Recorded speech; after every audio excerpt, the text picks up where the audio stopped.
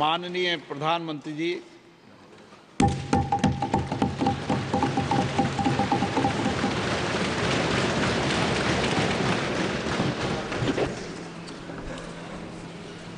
आदरणीय अध्यक्ष महोदय, ये सदन का सौभाग्य है कि आप दूसरी बार इस आसन पर विराजमान हो रहे हैं। आपको और इस पूरे सदन को मेरी तरफ़ से मैं बहुत बहुत बधाई देता हूँ।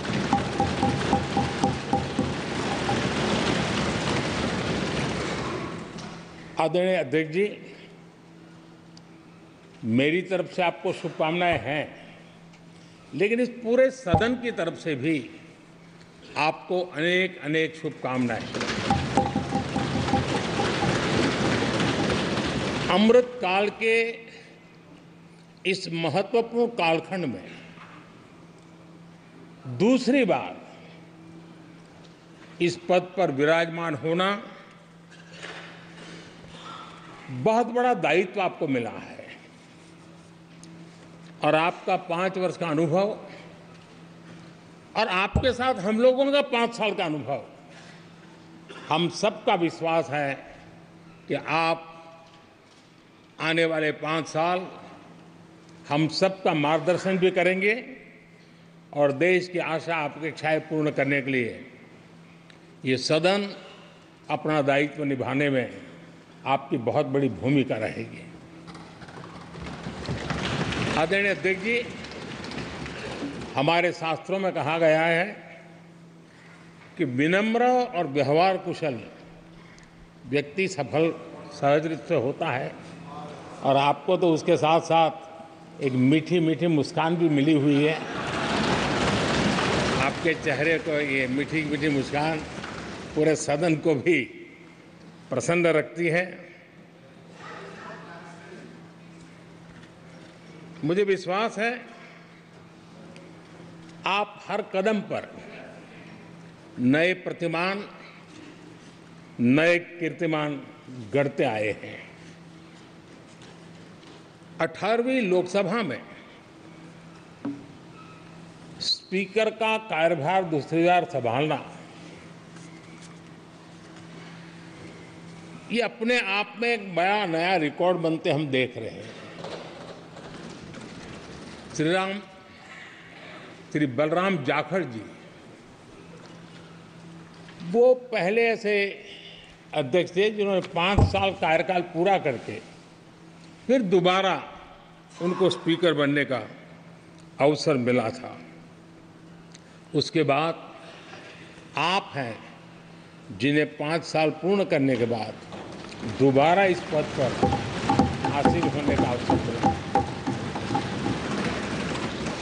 गत 20 साल का एक ऐसा कालखंड रहा है कि ज़्यादातर स्पीकर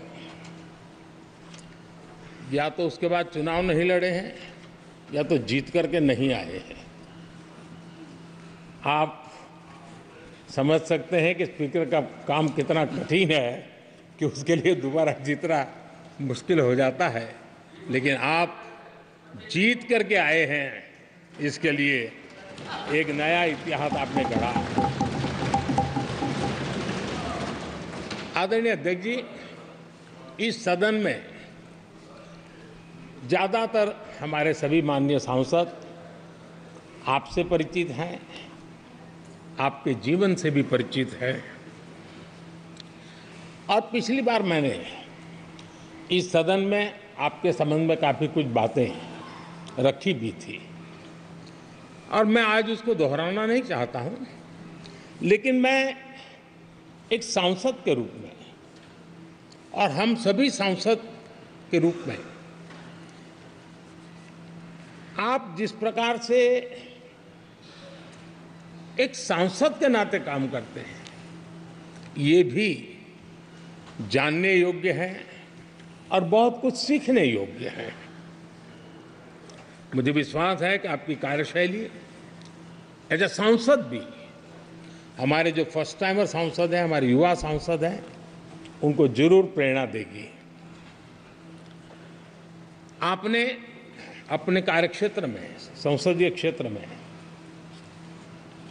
स्वस्थ माँ और स्वस्थ शिशु एक कमिटमेंट के साथ जो अभियान चलाया है और सुपोषित माँ इस अभियान को आपने जिस प्रकार से अपने क्षेत्र में प्राथमिकता देकर के खुद को इन्वॉल्व करके किया है, वो वाकई प्रेरक है।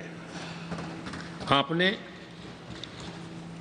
कोटा के ग्रामीण क्षेत्रों में हॉस्पिटल ऑन व्हील्स ये भी एक मानव सेवा का उत्तम काम, जो राजनीतिक कामों के सिवाय करने वाले कामों में आपने चुना वो भी अपने आप में गाँव गाँव लोगों को स्वास्थ्य सेवाएँ पहुँचाने में मदद कर रहा है।